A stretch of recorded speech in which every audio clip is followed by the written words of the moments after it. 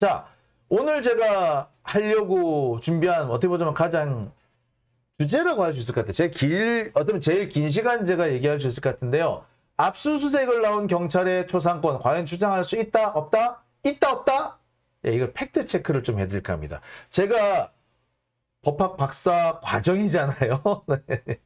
네, 그렇기 때문에 제 전공 분야고 전문적인 분야라서 제가 이 얘기를 꼭 여러분한테 드리고 싶습니다. 제가 어제 그 덧탐사에 대한 압수수색 진행되고 있을 때 제가 이걸 제 페이스북에 써서 어, 그쪽에 전달도 좀 해주고 했습니다. 그래서 참고하라고. 그 왜 이 얘기를 썼느냐 하면은 이 압수수색 나온 경찰이 어, 더 탐사 직원들이 이렇게 이렇게 사진을 찍고 이렇게 방송을 하니까 아 우리 조상, 조상권이 있는데 어, 방송하지 마요! 라고 이렇게 소리를 꽥 질렀어요. 그 소리 꽥 지르는 게 과연 정당한 얘기냐? 어, 압수수색 나온 경찰관이 과연 초상권을 주장할 수 있느냐? 이거 상당히 중요한 문제거든요. 헌법상의 문제거든요. 자, 그래서 이 헌법적으로 제가 풀어드릴까 합니다. 자, 일단 결론부터 말씀드릴게요. 결론부터 말씀드리면 공무 중엔 공무 중인 경찰의 얼굴 촬영은 초상권 침해가 아니다. 라는 국가인권위원회의 결정이 벌써 12년 전에 있었습니다.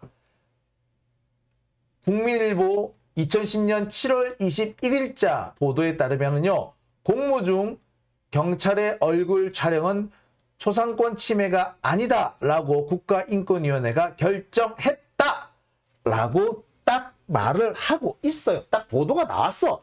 나 보도가 나왔어. 보도가 나왔어. 일부 신문에서 뭐 작년에 뭐 매일경제인가 여기서 보니까 어 경찰도 어, 초상권 있어. 라고 뭐 팩트 체크했다는데 그 팩트 체크가 엉터리예요. 그 팩트 체크한 기자가 인턴 기자인데 잘 모르고 어, 잘 알지도 못하면서 어, 전혀 공부도 안 하고 그냥 어, 마구 써제낀 기사입니다. 이게 정상입니다. 국가인권위의 결정이 있어요. 공무 수행 중인 경찰은 초상권이 없다라고 이미 예, 국가인권위원회에서 결정을 한 바 있습니다. 결정을 했어. 따라서 공무 수행 중인 경찰 이거는 이 양반들은 그렇게 못해요. 자 기사를 자세히 한번 볼까요? 자, 이 기사입니다. 예, 이 기사예요. 자, 보시겠습니다.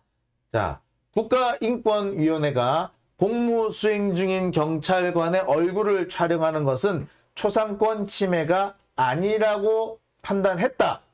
라고, 예, 보이시죠? 자, 어, 경찰 수사 과정에서, 아, 어,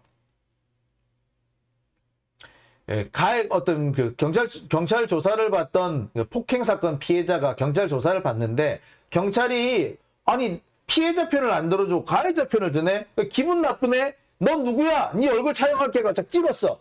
찍는데 경찰이 야 찍지 마! 라고 하면서 야 이건 내 조상권 침해니까 지워! 라고 해서 지웠어. 강제로 지워버렸어. 그러니까 이 사람이 억울하다고 인권위에 진정을 제기했습니다. 그 사건에서 국가인권위원회는 뭐라고 얘기했느냐? 공무수행 중인 경찰의 얼굴을 촬영하는 것은 초상권 침해가 아니다라고 결정을 했습니다. 됐죠? 확실하죠? 자, 또 볼까요? 이것만, 이, 이 기사가 이거 하나만 있으면 내가 말도 안 해. 또 있어요. 자, 이거, 이거는요, 시위 현장에서 캠코더로 경찰관의 그 시위 진압 과정을 어, 촬영한 사람이 예, 겪었던 일입니다. 캠코더를 촬영하던 L씨를 체포한 행위에 대해서 인권위는 공무집행 방해 및 소상권 침해에 해당하는 범죄를 범했다고 볼 수 없다! 라고 딱 말합니다. 보세요. 공무집행 방해죄나 초상권 침해에 해당하는 범죄를 범했다고 할 수 없다. 예, 인권위원회의 결정이 있죠. 자, 이렇게 두 가지 인권위원회 결정, 과거 결정이 있다는 걸 제가 분명히 말씀을 드립니다. 예, 이 보도가 됐었어요. 뻔히 있어. 공무수행 중인 경찰은요, 어, 수상권을 주장할 수 없습니다. 아니, 뭐 이런 건 있어요. 경찰관이, 아, 나도 좀 휴식 시간, 아, 좀 쉬어야겠다. 쉬고 있는 경찰관, 밥을 먹고 있는 경찰관, 이런 뭐 화장실에서 오줌 누고 있는 경찰관 이런 사람들을 막 찍고 그러면 안 돼요. 그건 안 돼. 또는 어 동사무소 직원이 동사무소 자기 사무실에 앉아가지고 이렇게 뭐 이렇게 서류 작업을 하고 있다. 이런 것도 안 찍는 게 맞습니다. 하지만 경찰이 막 이렇게 사건 뭐 폭행 사건이면 수사 수사를 하고 있다. 혹은 또 뭐다? 예. 어, 그뭐 시위 진압을 하고 있다. 그럴 때는 뭐다? 예. 공권력을 행사하고 있는 중이죠. 공무 수행 중이죠. 이런 경우에는 뭐다? 초상권을 주장할 수가 없는 겁니다. 왜? 공무 수행을 하는 건요. 국가기관의 일부, 기관의 일부로서 공무를 수행하는 거잖아요. 근데 국가기관은요. 국민의 감시와 견제와 비판을 받아야 되는 겁니다. 근데 감시, 견제, 비판을 받는 수단이 뭐야? 언론은 사진을 찍는다든지 또는 일반 시민이 사진을 찍는다든지 또 이렇게 뭐 하나 이렇게 막 메모한다든지 이런 거 아니에요. 그죠? 근데 그걸 못하게 해? 안 되는 거죠. 국가기관의 일부로서 활동하고 있을 때는 이 사람은 개인의 권리를 함부로 주장할 수 없어요. 에? 예? 어떤 경우, 음, 뭐, 어, 오히려 뭐는 되냐면은 이 사람은 국가기관의 일부기 때문에 국가의 보호를, 국가, 국가기관으로서의 보호를 받아요. 그래서 경찰관이 뭐 이렇게 앞, 그, 저기, 그 시위 진압을 하고 있다. 아니면 뭐, 자, 다들 들어가세요. 막 이렇게 하고 있다. 뭐 강제 집행을 한다든지 이렇게 한다. 그럴 때 경찰관한테 대든다든지 경찰관 멱살을 이런 어찌 된다? 공무집행 방해가 되죠. 네. 경찰관의 공무집행을 방해하거나 제지를 하면 안 되는 거예요. 공무집행, 그래서 보호, 그렇게 공무집행 방해로 보호를 받아요. 공무집행을 하는 경찰관은 그렇게 보호를 받아. 그런데 초상권은 개인의 권리거든요. 공무집행, 국가의 일부로서 공무집행을 하기 때문에 그에 따른 보호를 해주는데 여기에 개인으로서의 보호를 또 해달라고? 그건 안 되죠. 이중으로 이렇게 보호해주는 사례는 없어요. 어떤 경우에도. 자, 그리고요. 여러분, 이 사진 한번 보실게요. 자, 이 사진 시위 현장입니다. 시위 현장인데 이 뭐야? 캠코더가 막 이렇게 나와 있네?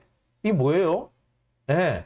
경찰들이 시위 현장 이런 데서 이른바 체증을 합니다. 체증을 한다면서 이렇게 막 이렇게 시민들 막 뭐하니 구호 외치고 막 이러고 있으면 막 체증 촬영하죠 막 그죠? 그 뭐예요? 경찰들은 시민들을 막 촬영을 하네? 그지? 그런데 왜 시민들은 촬영을 못해? 왜 못해? 압수수색 나가죠. 경찰들 당연히 다 촬영합니다. 지들이. 예. 혹시 나중에 문제 생길 걸 대비해가지고 다 촬영해요. 경찰은 촬영하는데 왜 시민들은 하면 안 돼?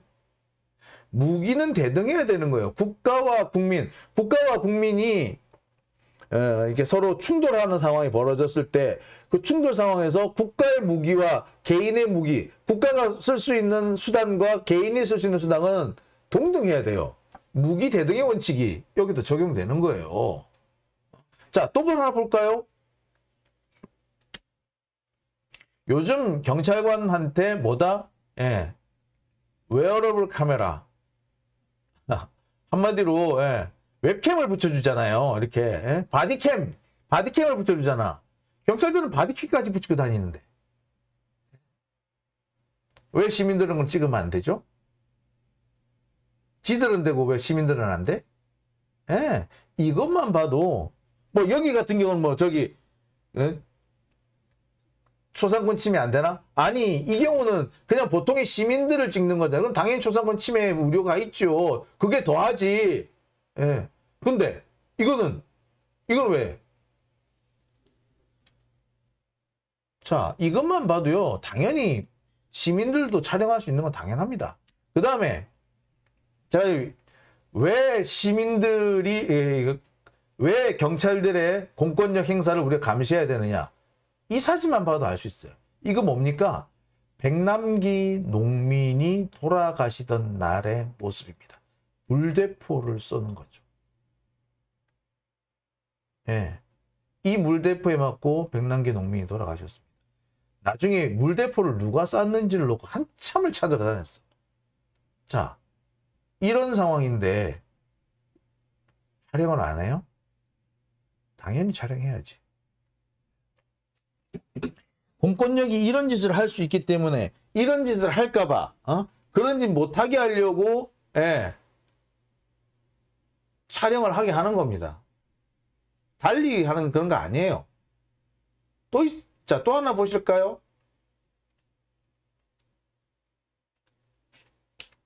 여러분, 이 사진 혹시 아십니까? 예, 경찰관이 어떤 사람을 체포하고 있는데, 이렇게, 예, 특별하게 제지를 안 하는데, 이거 남의 나라 아니에요? 우리나라예요. 그죠? 보면 한글 경찰대 있잖아. 자, 이렇게 깔아 뭉개가지고 길바닥에 잡아뜨려 놓고 이렇게, 예? 무릎으로 공가 갖고 이거 이거 저기 미국에는 이래가 사람 한 사람 죽었잖아 그죠 이렇게 해요 특별한 저항도 안 하는데 이렇게 사람을 바닥에 엎어, 엎어뜨려 놓고 이렇게 체포를 해요 이거 과잉진압 아니에요 이거 자 이 경우에 이 사람들의 초상권을 우리가 보호해 줘야 됩니까 이런 경찰관들의 경, 초상권을 보호해 줘야 돼요 아니에요 이 사람들은 보호의 대상이 아니고 처벌 처벌의 대상이죠 자, 또 하나 볼까요? 여러분, 이 장면 혹시 기억하십니까? 예, 이 장면 혹시 뭔지 아세요? 이 누구? 이거 뭐고, 이 사람? 발로 차는 이 사람 뭐고? 백골단. 얘들이 백골단이죠. 옛날에 백골단이 사람, 이게 지나가는 사람 얼굴을 막 걷어차고 막 이랬어. 이거 안 찍어놔요? 이거 안, 이거 안 찍어야 돼? 이거 초상권 운운할 수 있어? 자, 이 백골단 보세요, 이거. 사람을 이렇게, 옛날에 이렇게, 이렇게 사람들을 험하게 폈어요, 이렇게. 이봐, 이봐. 이게 백골단이에요. 얘들 가만 내비둬야 돼? 얘들 안 찍어놔야 돼? 사진 촬영 안 해? 당연히 해야죠. 에? 이런 짓, 우리가 카메라를 딱 들이밀잖아요? 그럼 이런 짓 못해. 더 이상 이런 짓 못해. 에? 그래서 사진 체증은 경찰만 하는 게 아니라 시민들도 해야 되는 거예요. 카메라를 들이밀면 이렇게 함부로 인제 못할 거 아니야. 그죠? 그래서 그 공권력의 남용, 오용 이런 것들을 막기 위해서 공권력의 남용, 오용, 과잉을 막기 위해서 이렇게 예, 국민들은 항상 어, 시민들은 항상 비판과 견제와 감시를 해야 되고 그 수단 중에 하나가 사진 촬영, 캠코더 촬영이에요. 그것도 요즘 같은 유튜브 방송일 수도 있죠. 당연히 해야지. 그걸 어떻게 막아? 왜 막아? 안 그렇습니까? 그죠? 자, 또 볼까요? 이것뿐이면 아니에요. 여러분, 이 사진 혹시 아십니까? 자, 보세요. 경찰이 앞에 가는 시민의 뒤통수를 방패로 찍고, 내리 찍고 있죠. 볼까요? 자, 거의 내리 찍고 있는 거 보이십니까? 이때 여기 있는 경찰들 안 찍어놔요? 당연히 찍어놔야지. 그죠? 어, 이거 안, 이, 이런 짓을 하지 못하도록 사진을 계속 찍고 카메라를 계속 돌려야 되는 거 아닙니까? 그죠? 예, 네, 또 하나 볼까요? 이 사진 혹시 여러분 아십니까? 이거는요, 광우병 촛불 집회 때 사진인데요. 예, 네, 지하철 안에서 지하철역 안으로 경찰들이 몰려 들어와 가지고 시위 시위를 하던 사람들이 이렇게 지하철 안쪽으로 도망을 갔는데 예? 그 시위하던 사람들을 향해서 이렇게 경찰이 몽둥이 이봐 이 몽둥이 길이를 바라고 이렇게 내리 찍고 있어 여기 사람들이 막 뭐 하고 있습니까? 예 구석에 이렇게 몰려 있잖아 어? 근데 위에 있는 그 넘어져 이 사진상으로 보면은 넘어져 있는 사람을 내리 찍는 모습이죠. 이 사람 어떻게 한 줄 아세요? 이, 이 경찰 어떻게 한 줄 아세요? 또 다른 사진 있어요. 예. 네. 이런다니까 이 사람. 이 사람 여기 여기 봐요. 몽둥이 여기 있죠. 으아 이러고 있는 거죠. 으아 이러고 있어. 아까는 으아 이러더니 으아 이러고 있다고. 이런 짓을 못하게 하려면 뭐 사진 찍히고 있으면 이렇게 하겠어? 못하는 얘 지금 사진 찍히는지 제대로 흥분해가 사진 찍히는지 제대로 몰라. 근데 사진이 이렇게 찍힌다는 거 알면 이렇게 못하죠. 자, 이런 겁니다. 국가 공권력이라는 거는요. 그냥 놔두면 언제든지 이렇게 남용될 수가 있습니다. 그거를 막기 위해서 국가 공권력이라는 것은 항상 국민의 감시와 견제, 비판을 받아야 합니다. 그래서 공무원이 공권력의 집행자일 때는 국가 권력의 일부로 봅니다. 그래서 당연히 감시와 견제, 비판의 대상이 됩니다. 아니 공권력이라는 게 뭐 지원자서 자동으로 막 이렇게 어, 작동되는 게 아니고 그것도 사람이 작동하는 거잖아요. 어? 사람이 공권력을 작동을 하는 거잖아. 그죠? 그러니까 공권력을 발동을 할 때는 그 공권력을 발동하는 그 사람 공무원이 국가기관의 일부인 거예요. 국가기관인 거야 그 자체로. 그러니까 당연히 그 공무원을 감시하고 견제하고 비판해야 되는 거 아닙니까? 그 수단으로서 사진 촬영, 동영상 촬영, 방송, 유튜브 방송이 되는 건데 그걸 하지 말라고 지들은 다 하면서 왜 못해? 그렇기 때문에 바로 이런 상황에서 국가 권력의 일부로서 활동하고 있을 때는 개인으로서의 권리는 인정되지 않는다. 다만 뭐는 된다? 국가기관으로 보아서 국가기관의 보호는 존재할 수 있다. 이건 거죠. 그러니까 경찰관은요 국가기관의 일부로서 국가기관의 보호를 받는 겁니다. 어? 개인의 보호를 받지 않아요. 개인의 권리가 아니야. 그래서 음, 개인이면은 내가 뭐 그 사람이 뭐 개인이 내 물건을 뺏어간다, 압수하려고 한다. 그러면 나는 당연히 저항하지. 야, 왜 가져가 남의 물건을? 이 나쁜 놈아, 이 강도야 이러겠지. 강도지 실제로. 개인이 다른 사람의 물건을 그냥 가져가면 강도예요. 어? 그런데 경찰관이 가져가면은 이건 압수죠. 그 물론 저기 그 영장이 있어야 되겠습니다만 압수죠. 그런데 야 가져가지 마 하고 붙잡아서 제지했어. 그럼 뭐 된다? 공무집행 방해가 됩니다. 이미 이미 경찰관으로서는 경찰관은 이미 그런 보호를 받는 거잖아. 응. 그럼 경찰관으로서의 보호를 받으면 되지. 무슨 또 개인으로서의 권리가 또, 보호, 또 보호를 받으려고 그래. 안 되는 거예요.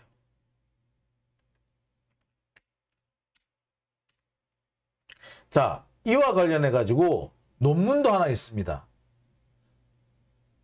자, 문제는 적법한 공무 수행 중인 경찰의 초상이 보호받을 여지가 있는지 영역이다.